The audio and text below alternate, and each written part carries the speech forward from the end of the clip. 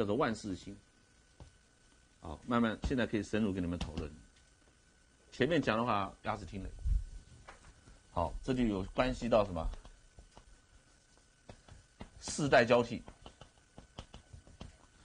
真正的真理的时候，它是个圆形的，随便你怎么换都是一样。你说老师，你讲了半天，好像只有两代同堂。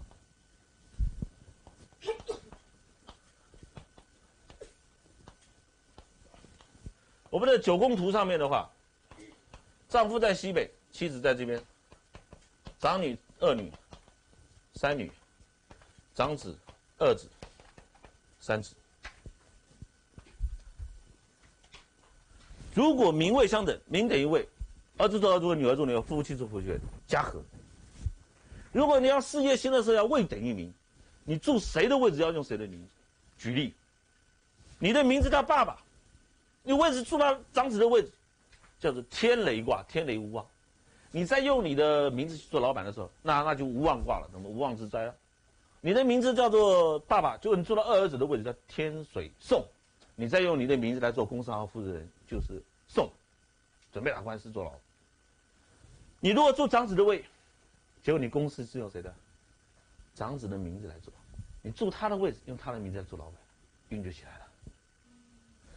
所以说，如果你是先生，如果你去坐到太太的位置，西北角缺个角，实在没办法改，没关系，公司号负责人换成太太，你从总董事长降成总经理。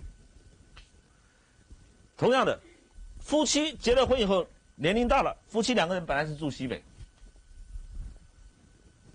你夫妻两个不想干了，事业要传给儿子，世代交替哦，你一定要儿子如果还没结婚。你的儿子住东宫，儿子的名位相等，当他位反过来，当他位置住对了，才可以用他的名字来挂负责。了解我意思吗？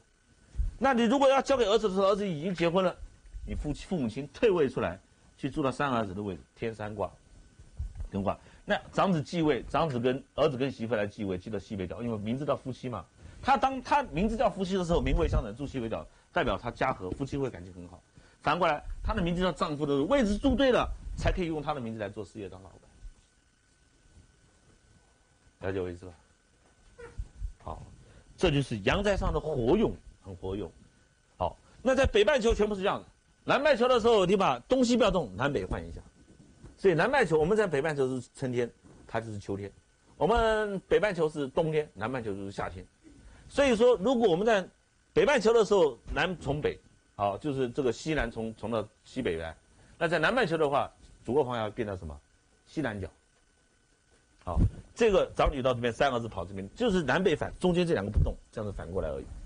好，南半球，其他都你们先学会北半球了。我讲的南半球你就毁了。好，那出来还有老师还有西半球、东半球，我就把你干掉。哦，再把再把你干掉，知道吗？好，这是为名为要等于名，这是啊，将再深入一点讨论，有没有什么疑问？知道怎么样用了哈？所以有一天你想不开，你说老师，我实在很火大，我不喜欢去做乾为天，我看着乾为天不爽。我太太，我太太跟我坐在，我太太是地天台，我是乾为天，我不爽。我坐到南边，我是烽火家人，我太太是地火明夷，我就想我害死我太太，明夷卦对不对？然后晚上开始磨巴豆，煮些砒霜给她吃，太太受到暗伤。可是你要事业不败的话，你住这个位置上就要挂你二女儿的名字来做事业当老板，挂头了。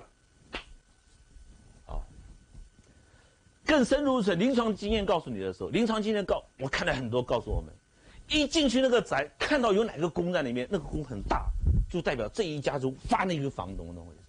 那一房的脑筋最清楚，就发那一房。一进去一看，他们家南宫最大，你们他们家二女儿最强。一进去看他们家左房的西南角，你跟他妈妈谈，你要跟他跟你跟那个女你女朋友结婚，一进去看那个左房的你你你那个未来的公婆的。那个主播放在现在讲，你不必理你理你你公公了，找你婆婆了，他才是决定的人，懂不懂？了解我意思吗？好，看到房间知道。那就是说公婆的位置没有，一看东宫最大，好了，你先先巴结巴结你大舅子，啊，先要把他哥哥说服说服了，不然的话他爸妈没意见，他哥拿枪出来跟你干，你敢找我妹妹，我就把你干掉。他他哥哥在这个位置上，看哪个宫最大发哪一方。好，因为我要先跟诸位预计这个想法，以后我们讲。阴宅讲风水的时候也可以知道，好风水就看山山河流，好八卦坟墓我们怎么弄，啊阳宅上的时候是这样子，好以后我们会举例再跟诸位来详细谈论这个部分。好，慢慢慢慢带诸位深入。好，我们深入浅出。